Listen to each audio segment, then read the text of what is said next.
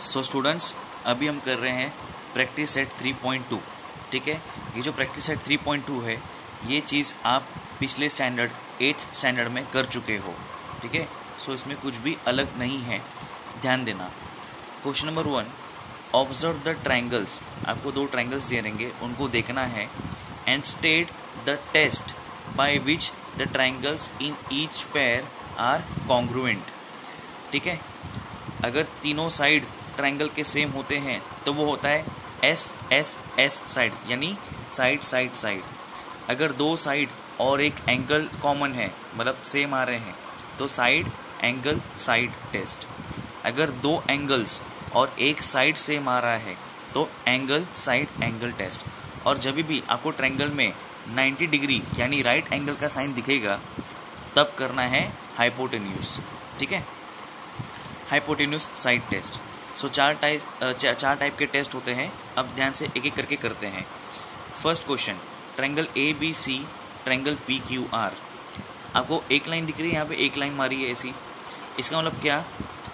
Side A B is congruent to side P Q ठीक है?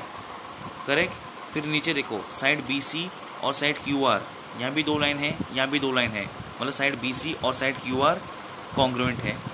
वैसे ही साइड ए सी और साइड पी क्यू क्योंकि तीन तीन लाइन है यहाँ पे तो ए सी और पी आर भी सेम है। सो so, इन दो ट्रायंगल में तीन तीन साइड्स कॉन्ग्रुएंट है। इसलिए ट्रायंगल ए बी सी इस कॉन्ग्रुएंट ये कॉन्ग्रुएंट का साइन है मतलब सेम है किसको? ट्रायंगल पी क्यू आर को। ये आपका मेन रीज़न है ठीक है? ये आपको लिखना ही पड़ेगा क्योंकि वही आपको क्वेश्चन में पूछा है। स्टेट द टेस्ट तो टेस्ट का नाम क्या है? Side side side S S S test of congruence ठीक है? ये आपका मेन है। फिर आपको दूसरा दिया है, एक ट्रैंगल दिया आपको, ठीक है? X Y Z and triangle L M N ये 90 डिग्री नहीं है, ठीक है? ये 90 डिग्री से थोड़ा बड़ा है। आप ध्यान से देखो एक्स वाई और एल एम सेम है, क्योंकि एक एक डंडी है। Angle X Y Z and angle L M N मतलब ये, वो भी सेम दिख रहा है। एंड बाद में क्या है? वाई जेड और एम एन ये दोनों भी सेम है। इसका मतलब क्या? Triangle X Y Z is congruent to triangle L M N Q side angle side यानी S A S test of congruence side angle side third one triangle P Q R और triangle S T U आप देख सकते हो P और S same दिख रहा है। फिर साइड पी आर जो दो डैश है, वो साइड एस टी दो डैश है। ये दोनों भी सेम दिख रहे हैं। एंड लास्ट में आपको एंगल आर और एंगल टी भी सेम दिख रहे हैं। इसलिए triangle P Q R is congruent triangle S T U ठीक है? रीज़न क्या है? दो एंगल्स है और एक साइड है, जो सेम है। इसलिए angle side angle test of congruence ठीक है? Last question fourth one, triangle L M N, triangle P T R.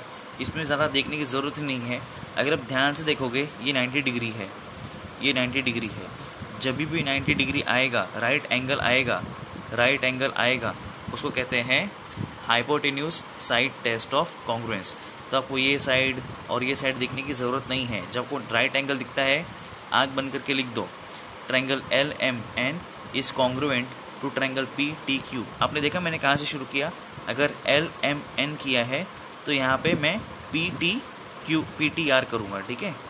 Triangle L M N is congruent to triangle P T R reason क्या है?